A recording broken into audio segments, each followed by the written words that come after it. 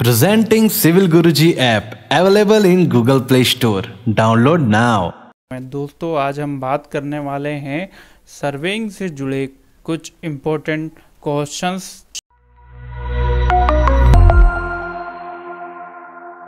नमस्कार दोस्तों, मैं engineer Prakash Mewada corporate trainer स्वागत करता हूँ आपका एक बार फिर से सिविल इंजीनियर्स की विचित्र दुनिया में दोस्तों, आज हम बात करने वाले हैं सर्वेइंग से जुड़े कुछ इम्पोर्टेंट क्वेश्चंस जो हमें इंटरव्यू में पूछे जाते हैं। चाहे आप सर्वेयर की जॉब के लिए जाएँ या फिर एज आ साइड इंजीनियर की जॉब के लिए तो जिसमें हमसे पहले, सबसे पहला जो क्वेश्चन पूछा जाता है, वो है व्हाट इज़ सर्वेइंग कि सर्वेइंग क्या होता है? तो इसके लिए हम कह सकते हैं कि अर्थ की सरफेस पर लीनियर और एंगुलर मेज़रमेंट करने को हम सर्वेइंग कहते हैं।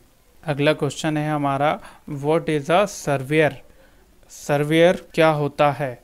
तो हम कह सकते हैं कि सर्वेयर एक ऐसा व्यक्ति होता है जो कि हमारे कंस्ट्रक्शन वर्क में या फिर हमारी प्रॉपर्टी का सीमांकन करता है और किसी भी बड़े कंस्ट्रक्शन वर्क के लिए जो इंजीनियर को अर्थ की सरफेस के बारे में जानकारी चाहिए होती है मैप बनाने के लिए वो डाटा सर्वेयर ही सर्वे करके इंजीनियर को प्रोवाइड करता है। अगला है हमारा what is an automatic level मतलब ऑटोमेटिक लेवल क्या होता है? हम कह सकते हैं कि डंपी लेवल या ऑटो लेवल ही हमारा ऑटोमेटिक लेवल है, जिसकी हेल्प से हम सर्वे कर सकते हैं लेवल को ट्रांसफ़र कर सकते हैं और किसी भी बिल्डिंग की हाइट का पता लगा सकते हैं। अगला हमारा सवाल है what is a level staff level staff क्या होता है? तो लेवल स्टाफ एक लेवलिंग रॉड की तरह वर्क करता है, जो कि एल्यूमिनियम और वुडन का बना हुआ होता है। इसके ऊपर स्केल की तरह नंबर लिखे हुए होते हैं, जो कि हमारा ऑटोमेटिक लेवल लेने में हेल्प करता है। इसकी सहायता से हम लेवलिंग कर सकते हैं और हमारी बिल्डिंग के वर्टिकल और हॉरिजेंटल लेवल्स का भी पता कर सकते हैं। अगला है हमारा explain fundamental principle of serving कि मतलब सर्वेइंग के प्रिंसिपल्स के बारे में बताइए। तो हम कह सकते हैं वर्क टू होल पार्ट किसी भी बड़े प्लॉट को पार्ट बाय पार्ट में डिवाइड करके उसका सर्वे करना। सर्वेइंग का फ़र्स्ट प्रिंसिपल है और इसका सेकंड प्रिंसिपल है कि दो पॉइंट्स के बीच में पाइथागोरस थ्योरम लगाकर तीसरा पॉइंट फाइंड करने को हम सर्विंग के प्रिंसिपल में काउंट करते हैं। अगला है हमारा what is an EDM in surveying कि सर्वेइंग में ईडीएम क्या होता है? तो हम कह सकते हैं कि एक ऐसा इंस्ट्रूमेंट जिसकी हेल्प से हम दो पॉइंट के बीच की डिस्टेंस को मेज़र कर सकें, उसे हम ईडीएम कहते हैं सर्वेइंग में। और जो इंस्ट्रूमेंट है, वह हमारा टी एस टी भी हो सकता है मतलब टोटल स्टेशन थेडोलाइट और टोटल स्टेशन ये हमारा ईडीएम इंस्ट्रूमेंट है। ईडीएम का मतलब कि इलेक्ट्रॉनिक डिस्टेंस मेज़रमेंट इसकी हेल्प से हम किसी भी दो पॉइंट्स के बीच की डिस्टेंस को मेज़र कर सकते हैं। इसका अधिकतर यूज़ बिल्डिंग कंस्ट्रक्शन में और हाईवे रोड कंस्ट्रक्शन में किया जाता है।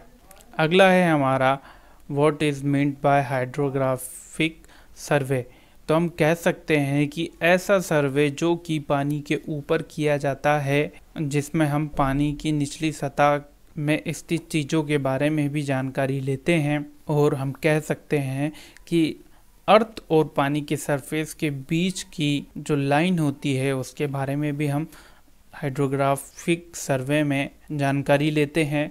यह सर्वे हम समुद्र में तेल के कुओं की ड्रिलिंग करने के लिए या फिर समुद्र में किसी भी प्रकार का ब्रिज निर्माण करने के लिए हमें सबसे पहले हाइड्रोग्राफिक सर्वे ही करना होता है। अगला है हमारा explain difference between a plan and a map मतलब प्लान और मैप के बीच में क्या डिफरेंस है? तो हम कह सकते हैं प्लान एक ऐसी शीट होती है जिसे हम अपने पर्सनल कंस्ट्रक्शन वर्क के लिए यूज़ करते हैं, जिसमें हम स्केल की हेल्प से लार्ज एरिए को पेपर पर दर्शाते हैं। और अगर मैप को कहें तो मैप में भी हम बहुत बड़े लार्ज एरिए को पेपर पर दर्शाते हैं। उसमें कुछ और एक्स्ट्रा लाइनें भी बनी हुई होती है, जैसे कि हम उसमें रोड कैनाल रिवर और कंटूर लाइन भी हम मैप में दर्शाते हैं। परंतु प्लान में हम सिर्फ़ जो हमें